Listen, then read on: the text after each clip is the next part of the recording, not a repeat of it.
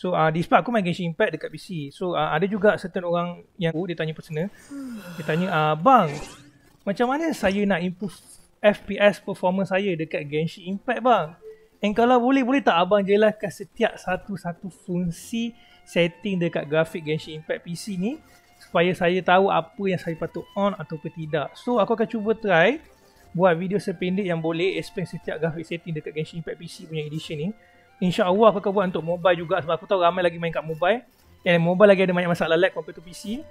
But for now kita akan fokus kepada PC apa yang korang perlu on dan tak perlu on and apa function setiap setting ni lah. So jom tak masa jom kita akan cerita. Kenapa aku graphic quality ni tak payah usik. Just kita nak usik yang bawah so dia automatically jadi custom. So biar. Full screen, uh, to be honest, kalau boleh main full screen, main full screen. Sebab bila kau set Genshin Impact on window mode, performance dia akan reduce eh. Especially sebenarnya kepada mostly kebanyakan game semua jadi macam tu. And yang peliknya Genshin Impact ni native resolution je dia bagi kau full screen. Native resolution tu resolution max yang kau boleh letak lah. So kalau kau ada monitor 4K tapi kau punya graphic card agak slow, sedikit sakit lah untuk main as a native resolution. Yang ini kau kena pandai adjust sendirilah. Tapi mostly ada 1080p resolution kan. So uh, pakai je lah 1080p as a full screen lah. Windows tak recommend sebab dia akan lost sedikit performance. Tapi kalau terpaksa, there was no choice lah. FPS 60 ataupun 30 uh,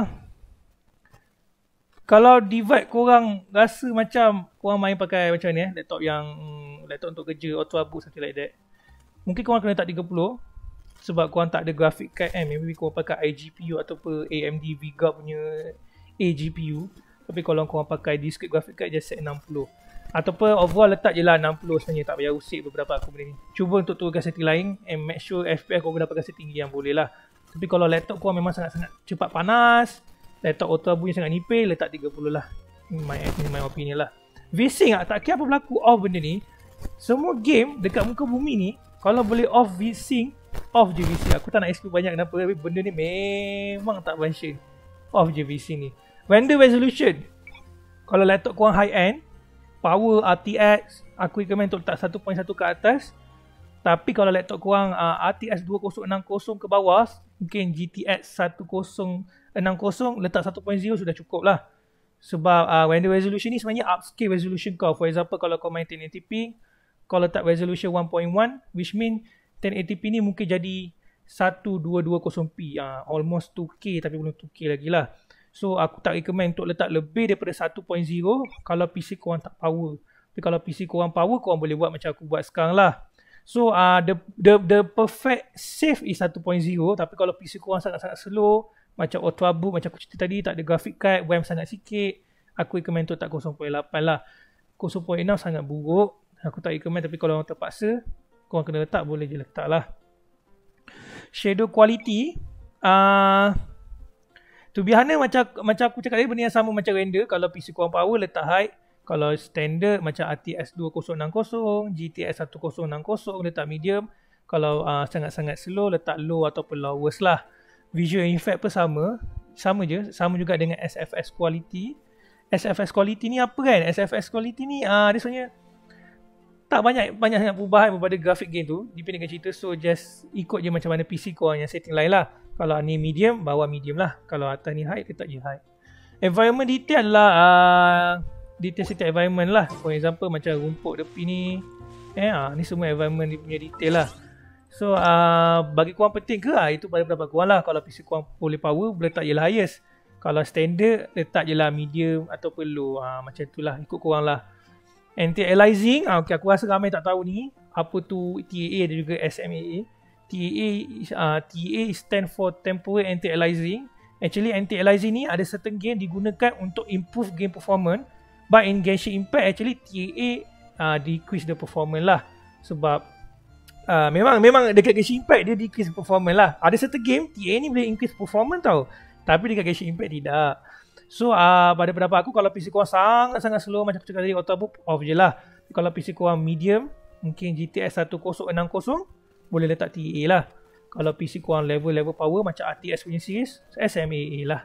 Uh, senang cerita lah, itu dia punya cerita. Anti-aliasing ni apa function dia? Uh, okay, uh, contoh karakter ni, korang nampak tak macam ada lengan kat belah tangan tu? Kalau tak silap aku, kalau korang off, dia akan macam ada satu line tau. Macam ada edge macam ada satu garisan yang tidak cantik lah membuatkan nampak polygon dia tak real tapi bila korang letak SMAA nampaklah lawa eh tapi bila korang letak TAA dia akan ada juga lawa tu cuma dia temporal ah ha, sebab tu nama dia temporal anti-aliasing actually susah nak explain but dia better daripada tak ada langsung anti-aliasing lah so ah ha, itu penjelasannya lah sebenarnya ha, nampak korang takkan notice guys tu sebenarnya kalau korang sekali pandang kalau yang main game hari-hari yang tengok grafik punya game kau akan nampak lah anti-aliasing ni sebenarnya mencantikkan grafik game sebenarnya. So ah itu beza itu masuk anti-aliasing lah eh. Volumetric FOG. Ah dia pendekkan cerita mana matahari langit semua tu. Jom kita pergi sini. FOG eh volumetric FOG adalah matahari yang korang pandang. So kalau aku tukar jam, sekarang korang takkan nampak volumetric tu. Kejap lagi korang akan nampak. Volumetric 4 adalah yang seperti aku cerita tadi lah. Matahari tak ada kan kat sini. Tapi kalau kau akan nampak macam satu, ah itu dia. Itu adalah volumetric FOG. Which is ada satu cahaya ataupun sinaran apa-apa yang datang reflect pada certain elemen ataupun game lah. So kalau kau nampak yang macam-macam pemandangan kat luar yang indah ni, ah ini menggunakan volumetric FOG. So kalau kau off agak kurang cantik lah. Aku tak sure aku boleh tunjuk direct ke tak. Kalau aku off ni. Tapi memang nampak yes Kalau kau nampak nampak tak Dia agak macam dah tak ada cahaya tu Cahaya tu dah hilang So bila aku on kau akan nampak macam satu sinaran tu datang balik tau So itu adalah function volumetric FOG lah Nampak tak guys? Nampak macam lebih terang Cahaya lighting tu datang Ah Itu function volumetric FOG So ah Actually adakah dia makan FPS? Perlukah aku on? Depends pada korang Macam macam aku cakap dia aku just explain Setiap grafik setting ni apa yang dia buat Ya ataupun tidak tapi adakah dia makan FPS kuat? Sebenarnya agak kuat sedikit sebab dia gunakan lighting. Selalunya lighting reflection ni kuat pakai GPU. So kalau GPU korang power boleh on lah. Kalau GPU korang tak power aku recommend to off lah. But overall memang dia bagi experience game Genshin Impact yang nampak lebih real lah. Lebih lebih hidup game dia. So macam tu lah guys.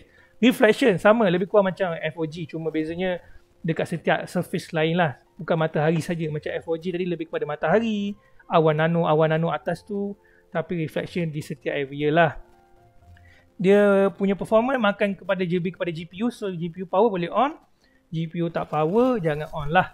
Motion blur. Ah uh, seriously kenapa aku off? Jangan on motion blur sebab motion blur See, do you guys see this? This is motion blur. To be honest, ada satu orang yang main Genshin Impact ataupun any game, kalau dia on on motion blur, dia boleh kena penyakit nama dia motion sickness. So tak ada benefit langsung guna motion blur. Tak kira lah game apa pun sekali pun. So uh, to be honest in reality aku just recommend untuk main apa-apa game tutup je motion blur kalau boleh tutup lah. So aku tutup. Tak kira bisa kurang power ataupun tidak guys. So yup uh, belum. Belum dia nampak macam ada macam reflection blur macam motion blur. Tapi dekat area sekeliling kau. Sometimes it can be pretty, sometimes it can be annoying. But uh, in my opinion Genshin Impact belum macam lawa So aku on Sekali lagi uh, dia kuat pakai GPU juga So kalau korang rasa GPU kau power Korang boleh on blue Kalau tak korang boleh off And yeah, prefer juga ada orang yang PC power pun tak suka bloom. So dia orang off juga. Macam aku, aku suka bloom tapi aku tak suka motion blur. So kalau orang yang tak suka benda alam ni mungkin tak suka benda alam ni jugalah. So just off je dua-dua. Tapi aku find bloom nampak lebih cantik lah. As a scene in lah. So. Yeah.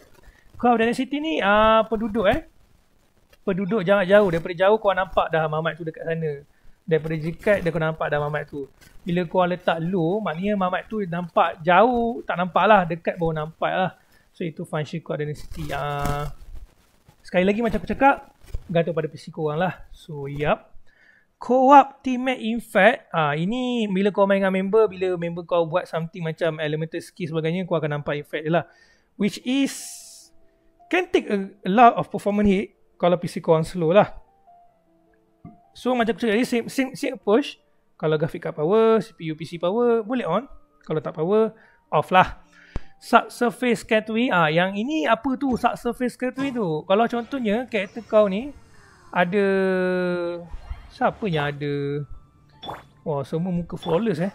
Sebenarnya subscatter scattering ni kalau macam mata kau ada garis. Tahu macam ada bekas paruk eh. Ah, mungkin terjatuh motor ke So ah itu function scattering tu lah aku tak boleh pronounce.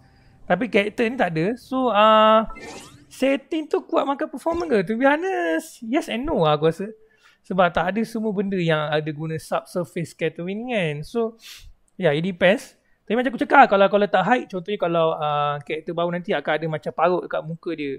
So, uh, kau akan nampak parut tu detail tau. Tapi kalau kau letak low, parut tu macam nampak sama-sama ataupun tak ada langsung. So, itu function subsurface scattering lah. So, uh, depends macam aku cakap tadi, nak letak high atau low, depend on your performance PC lah. And last sekali, uh, and to N-C-tropic filtering, banyak kan aku sebut semua bodoh-bodoh aku sebut, aku just sebut je. Tak apa, kurang pandai nak sebut dengan betul. Ini lebih kepada uh, macam anti-aliasing tapi bukan anti-aliasing. Macam mana aku nak describe eh.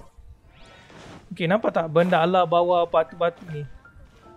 Batu-batu tu yang kat bawah karakter tu, kalau kau letak dia satu X kan, kalau kau tengok daripada jauh kan, contohnya kau nak ke sana, kau akan nampak dia macam blur tau. Bila kau letak 16, dekat bawah tu semua akan nampak still clear and nampak cantik lagi macam dekat bawah ni. So makin makin tinggi nombor 1S 2S tu makin detail bawah tu ni even dekat jarak jauh sekali pula. Tapi bila kau letak satu X dekat sini, sini je yang detail. Dekat depan ni semua dah buruk nampak blur. So uh, adakah function untuk PC kita?